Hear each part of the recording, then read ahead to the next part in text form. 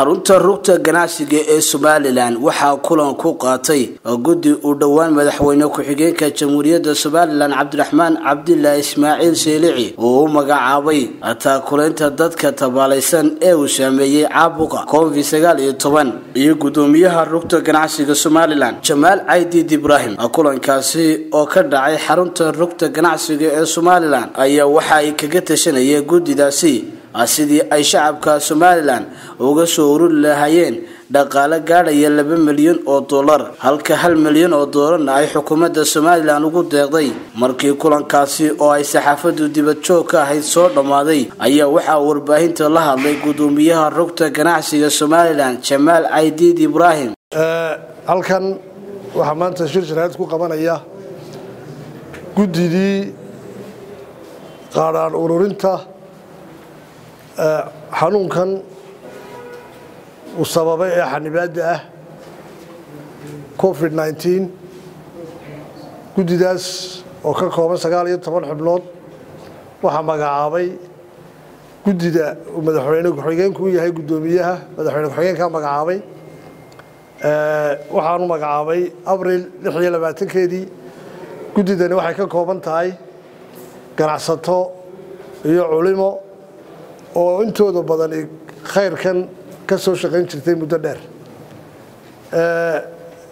Guddidaas waxay jeebkooda iyo wakhtigoodiiba u hureen inay caawiyaan walaalahooda ay dhibtu ka soo gaadhay xanibaadda uu keenay xanuunkaas covid nneteen waxaa lagu qiyaasay dadka dhibtaasi gaadhay ama ganacsato ha ka koobnaadaan yaryar ama ha ka koobnaadaan shaqaale ama ha ka koobnaadaan macalimiin mid qur'aan iyo mid maadiyaba ah. Dadkii awoodi waayey inay shaqo tagaan ee nool maalmoodkoodu shaqadaa ku xidhnaa mid farsamo gacmeed ka shaqaynaya iyo mid kaleba lixdan kun oo qoys ayaa lagu qiyaasay dadka ay dhibtaasi saamaysay. Dhankooga iyaguna waxaa halkaasi ka hadlay qaar ka mida ganacsatada waaweyn ee reer somalilan kuwaasi oo ka mid ah xubnaha guddida ee uu dhowaan magacaabay madaxweyne ku-xigeenka somalilan iyagoo shacabka somalilan ugu baaqay inay ka soo qayb qaataan sidii ay dhaqaalahaasi gaadhaya labada milyan ee dollar ay u soo ururi lahaayeen. Ganacsatadani oo hadalkeesa kala daba qaatay ayaa waxa ay ku dheeraadeen ahmiyadda ay sadaqadu leedahay iyagoo fariin dheer u diray shacabka somalilan ayaa waxay yidhaahdeen. Sidii ilaahay ina faray subxaanahu wa tacaala marka marxaladaha noocan oo kale ah aynu gallo hadday abaar tahay iyo hadday tahay wakhti adag oo xanuunadu yimaadaan.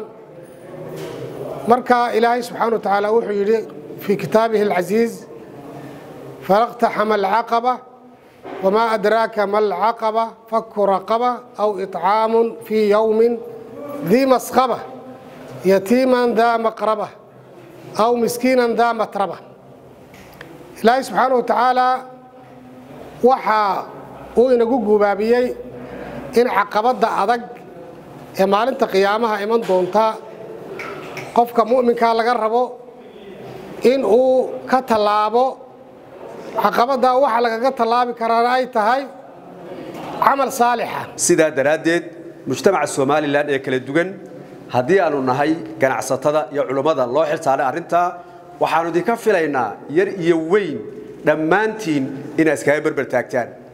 Sidaa la tilmaamay qoyska wejigan koowaad waxaa ku filan raashin u dhigma konton dollar. Waxaan ku jirnaa bishii rabadaan waxa ay fooddeenna ku soo haysaa amaynu joognaa wakhtigii sakaatulfitriga qof kasta waxaa ku waajiba laba kiilo iyo badh oo sakaatulfitrida ah. Lacagta u dhiganta qofku uu garanayaa. Sakaatulfitrida lacagnimo haddaad noogu soo dirtaa guda iyo dibadba sida sharciga ayaannu marinaynaa raashin baannu siinaynaa. Waaba inta keliyaynu u baahannahay maanta. Haddii qof kasta loo kiilooyo badh uu bixiyo waaba lacagtaynu raadinayna weeyi. Sidaa daraaddeed somalilan waxaa lagu qiyaasaa saddex milyan iyo badh lacagta laynaga rabaa markay dowladdu bixisay hal milyan waa laba milyan weeye laba milyan oo min hal doolar bixiya waa labadii milyan. Milyan bixiya min laba doolar waxa weeye waa labadii milyan markaasi weeye shan boqoloo kun oo qof oo iyagu bixiya afar doolar waa labadii milyan weeye intaasaynu u baahannahay tobanka kun shanta kun halka doolar maanta waa maalintii ganacsatada yaryar halka doolar aanu ka raadinay biyo dhaabiskii abaarihii gurmadkii beledweyne sidii aynu ka yeelnay maanta. Oo aynu libanaabna loo baahanya waxaan leeyahay jeebka aynu gacanta gelinno waxba yaynaan la xishoon wax yar iyo wax weyn nin walba wuxuu hayo ee uu karaayo. Muxsiniin dadkaa jilicsan ee haddii la badankeeday shaqooyinka ka xidhmeen xanuunkan inagu yimid daraaddeed in la caawiyo aan isu taagno.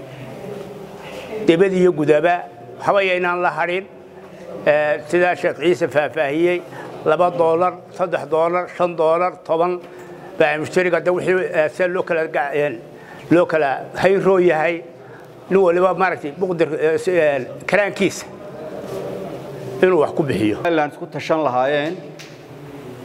Qaadkii waa la joojiyey.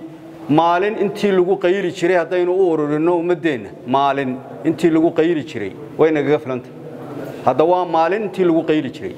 Marka waxaynu u ducaynaynaa qof kastoo qayli jiray bishaa inuu iska daayo bal intii uu ku bixin jirayna maalin wuxuu ku qayli jiray qarashku ku bixin jiray uu u bixiyo walaalihii sidoo looga caawin lahaa. Sadaqadu waa bilaahi xijaab sadaqadu maalkay barakaysaa.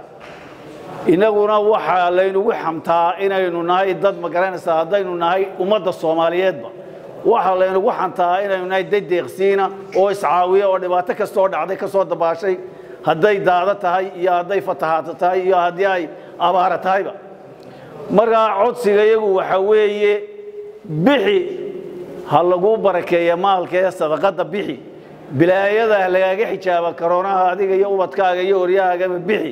Dadka lixdankaa kun ee qof ee laga sheekeeyey ee walaalaheena inaynu wax u tarno aynu inagu isku tashanno inaan cid kale ku tashan waxaan leeyahay dadka qurbaha jooga eena maqlaya eena arkaya halkan guddida joogta waa guddi culimaa iyo guddi ganacsato ah waxay u hawlan yihiin habeen iyo maalinba ka shaqeeyaan. Sidii dadka ay wax ugu heli lahayen inay wakhtigoodii geliyaan. Waxaanu jecel lahay in ay